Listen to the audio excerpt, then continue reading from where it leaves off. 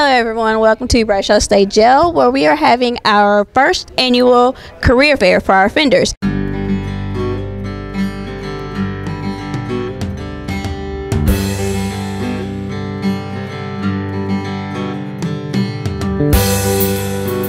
Can you tell us what um, the purpose of this program is for our TDCJ offenders?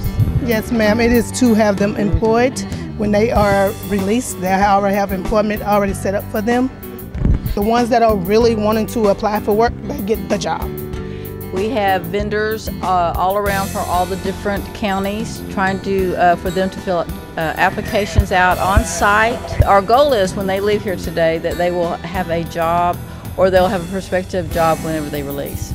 So, Ms. Carolyn, I want to ask you: Is this your first time coming to one of these career fairs? It is. I'm excited to be here today. So, what I'm here today to do is to support individuals that are soon to be released uh, with employment services, whether that be helping them understand what services are available with computer literacy, helping them to understand what it takes to get back into the workforce, and I'm introducing them to what's called our WIOA program, which is the Workers Innovation and Opportunity Act. It provides training, um, on the job training, occupational skills training, uh, work experiences for individuals that have been unemployed or that are reentering to the workforce. How do you feel like this career fair is going to benefit our offenders? I think the career fair is a great opportunity for the offenders to make connections before being released. I think the greatest measure of success will be their desire to do something better. How do you feel like this program is going to benefit them and better them for when they get out?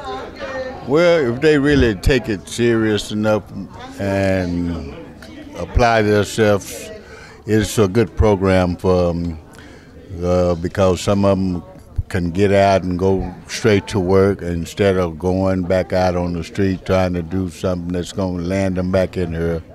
For the offenders, it's going to get a lot of people a job, but for me, it's really going to show me something to keep me away from here, and they're helping us to try to keep us uh, reformed back for the world.